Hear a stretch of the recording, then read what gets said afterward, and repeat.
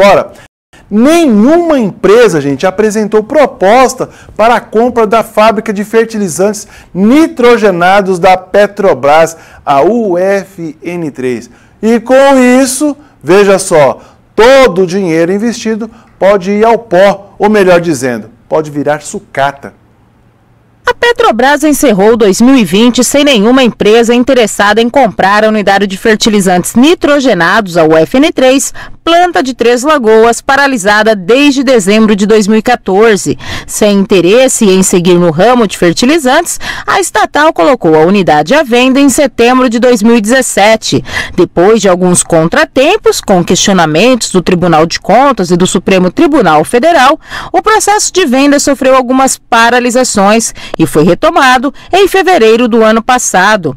A previsão era de até o final do ano passado a estatal concluir o processo de venda e nesse período deveria ser assinado o contrato com a empresa vencedora do certame.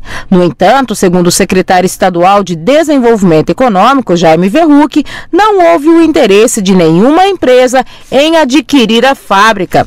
O secretário ressaltou que, embora demorado, o processo de venda de um projeto desta dimensão depende mais da condição de mercado do que de vontade política. Na verdade, nós temos que entender que um projeto nessa dimensão, ele, independente das vontades políticas de todos nós, né, ele só se viabiliza por uma condição de mercado. Quer dizer, nós estamos pegando um ativo não terminado uh, e ele vai ser passado para o mercado. Quer dizer, uh, só haverá interesse na hora que alguém do mercado né, conseguir fazer a conta que, que esse investimento dá o retorno. Então, é, é, é só fora isso, nós podemos pressionar, podemos discutir, podemos tal, mas, na verdade, uh, a, a Petrobras fez o papel dela, que foi fazer o edital para colocar. O que que, uh, qual que é o histórico disso, e aí eu já vou te colocar alguma posição que a gente tem acompanhado isso aqui o, uh, junto muito próximo a, a, a, Petrobras.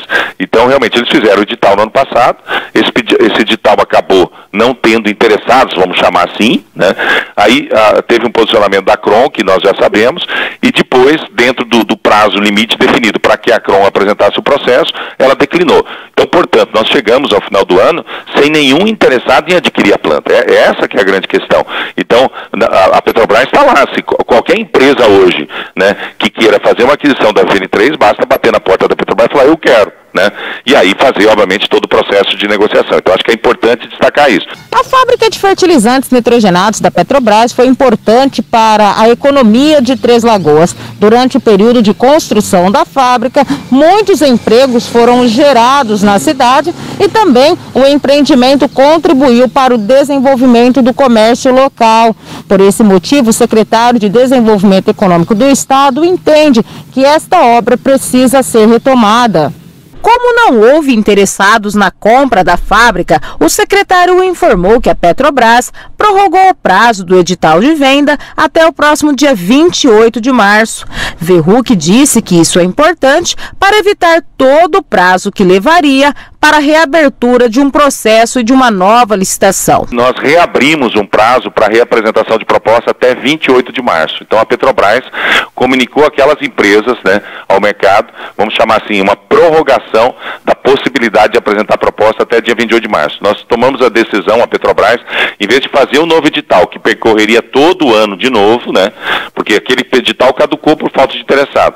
Então, se, se nós fizéssemos o edital, nós teríamos o ano todo de novo, lá em novembro, então houve uma reabertura dessa data do edital até 28 de março, aonde a Petrobras está colocando sobre aquela questão do gás duas situações extremamente importantes. A Petrobras pode fornecer o gás ou a, a, a, empresa que adquirir pode comprar gás diretamente. Isso, de novo, então foi colocado. Então, agora nós temos uma perspectiva. E aí nós estamos procurando esses players, inclusive a Acron, que até desmobilizou a sua coisa, para que ela volte. Nós já fizemos uma reunião com o pessoal da Acron na Rússia para apresentar isso, para manter. Então, de novo, vamos chamar assim, nós vamos ficar nesse olhar aí até o dia 28 de março. Aí sim, se não tiver isso, fica cancelado e terá outro edital. Mas a gente acredita que até 28 de março a gente tem que estimular outros players a entrar na venda da UFN3. É um ativo, o Brasil não pode perder esse ativo e deixar que ele fique sucateado. E quanto mais tempo demorar, maior o valor de investimento e mais inviável né, ele pode ficar em função de tecnologia e sucateamento dessa planta. De acordo com o edital de venda, o potencial comprador deverá ter capital superior a 60 milhões de dólares. As obras da UFN3 foram iniciadas em setembro de 2011, sendo interrompidas em dezembro de 2014, com um avanço físico de 81% da conclusão.